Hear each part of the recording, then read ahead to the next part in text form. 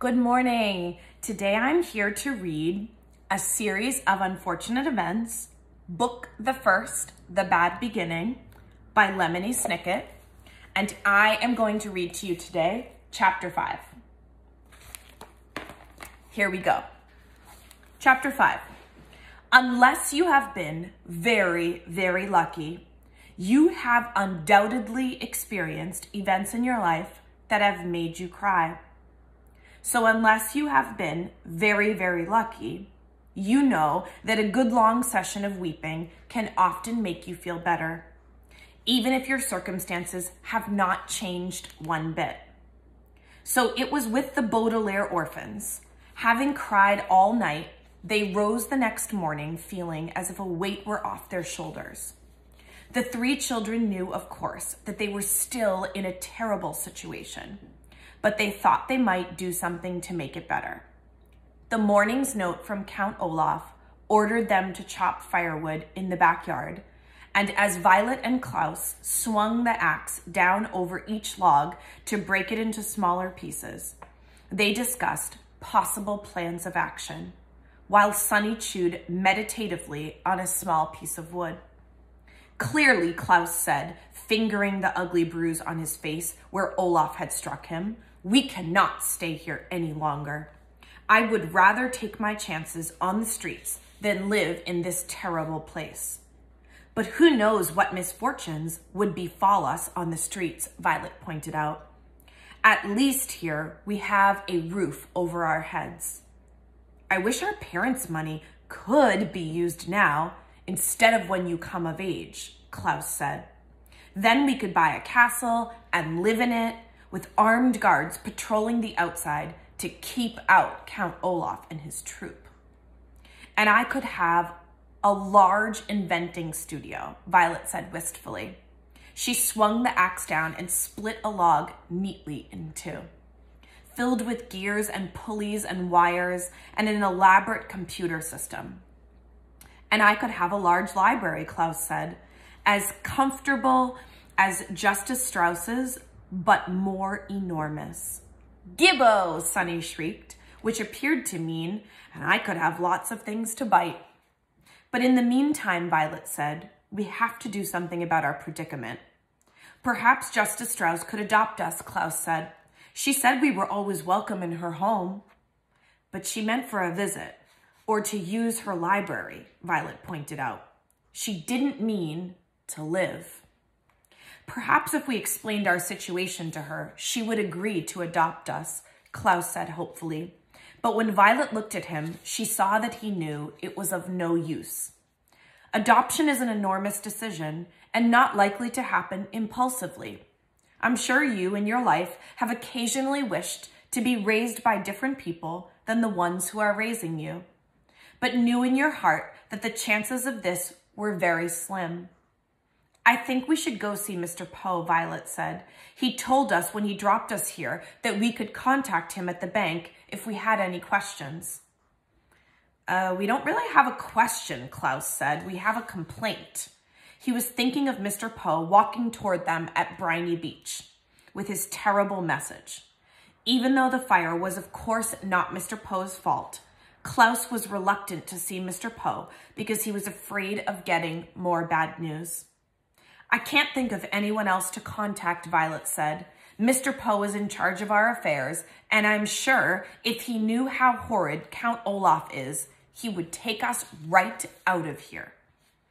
Klaus pictured Mr. Poe arriving in his car and putting the Baudelaire orphans inside to go somewhere else and felt a stirring of hope. Anywhere would be better than here. Okay, he said, let's get this firewood all chopped and we'll go to the bank.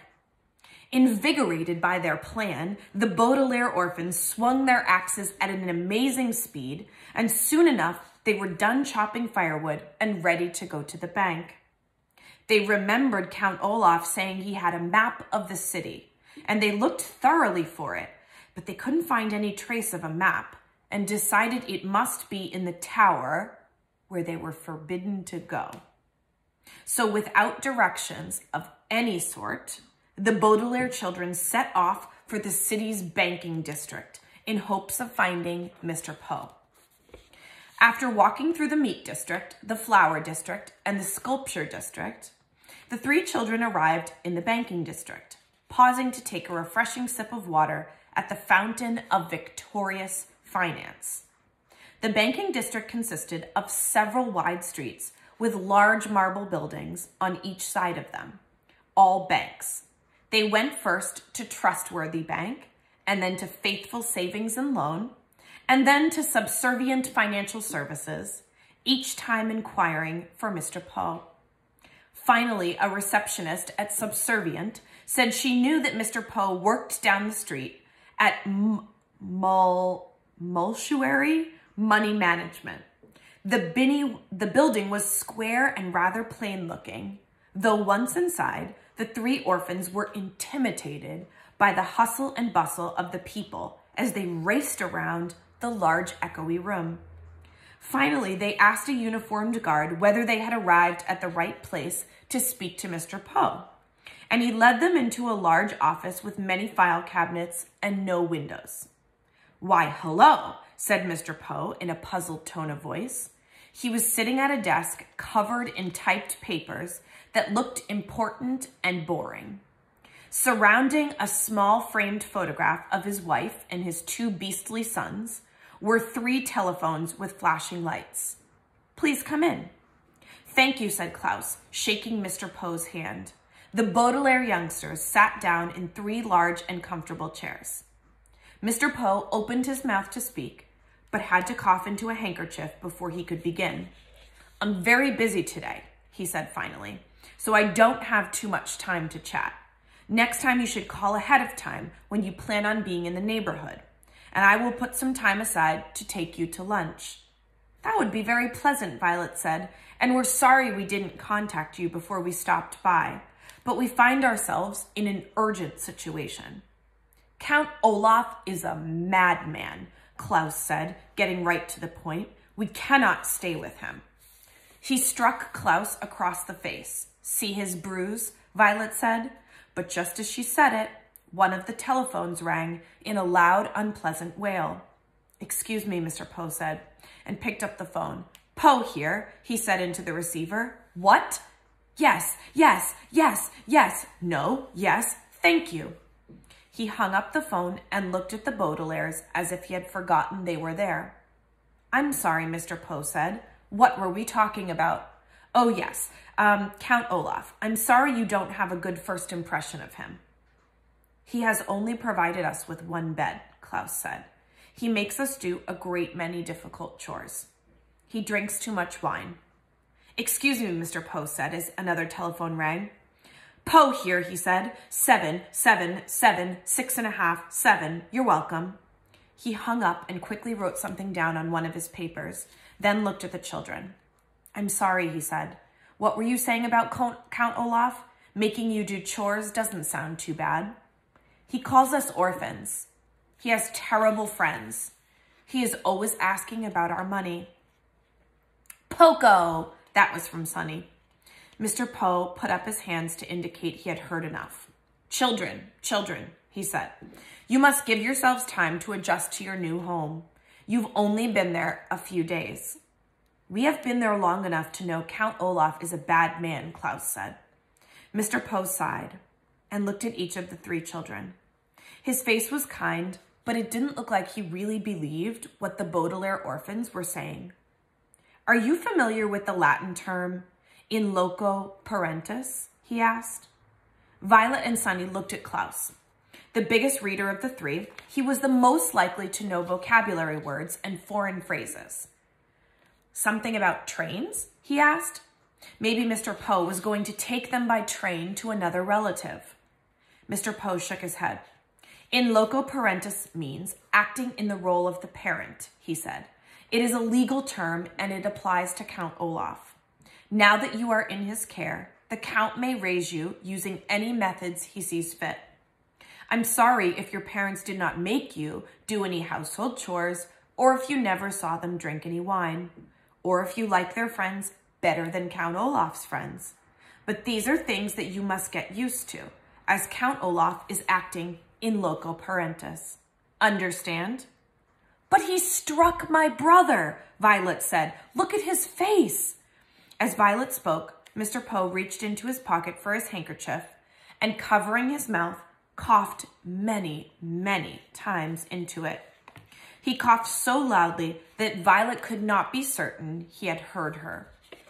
Whatever Count Olaf has done, Mr. Poe said, glancing down at one of his papers and circling a number, he has acted in loco parentis, and there's nothing I can do about it. Your money will be well protected by myself and by the bank, but Count Olaf's parenting techniques are his own business. Now, I hate to usher you out post haste, but I have very much work to do. The children just sat there stunned. Mr. Poe looked up and cleared his throat. Post haste, he said, means, means you'll do nothing to help us. Violet finished for him. She was shaking with anger and frustration. As one of the phones began ringing, she stood up and walked out of the room, followed by Klaus, who was carrying Sunny. They stalked out of the bank and stood on the street, not knowing what to do next. What shall we do next? Klaus asked sadly. Violet stared up at the sky. She wished she could invent something that could take them out of there. It's getting a bit late, she said. We might as well just go back and think of something else tomorrow. Perhaps we can stop and see Justice Strauss. But you said she wouldn't help us, Klaus said. Not for help, Violet said, for books. It is very useful when one is young to learn the difference between literally and figuratively. If something happens literally, it actually happens. If something happens figuratively, it feels like it's happening. If you are literally jumping for joy, for instance, it means you are leaping in the air because you're so happy. If you are figuratively jumping for joy, it means you're so happy that you could jump for joy, but you are saving your energy for other matters. The Baudelaire orphans walked back to Count Olaf's neighborhood and stopped at the home of Justice Strauss, who welcomed them inside and let them choose books from the library. Violet chose several about mechanical inventions, Klaus chose several about wolves, and Sunny found a book with many pictures of teeth inside. Then they went to their room and crowded together on the one bed, reading intently and happily. Figuratively, they escaped from Count Olaf and their miserable existence. They did not literally escape because they were still in his house and vulnerable to Olaf's evil in loco parentis ways but by immersing themselves in their favorite reading topics, they felt far away from their predicament, as if they had escaped. In the situation of the orphans, figuratively escaping was not enough, of course, but at the end of a tiring and hopeless day, it would have to do. Violet, Klaus, and Sunny read their books and in the back of their minds hoped that soon their figurative escape would eventually turn into a literal one. And that is the end of chapter five. Tomorrow, we will continue with chapter six. Have a great day, everybody.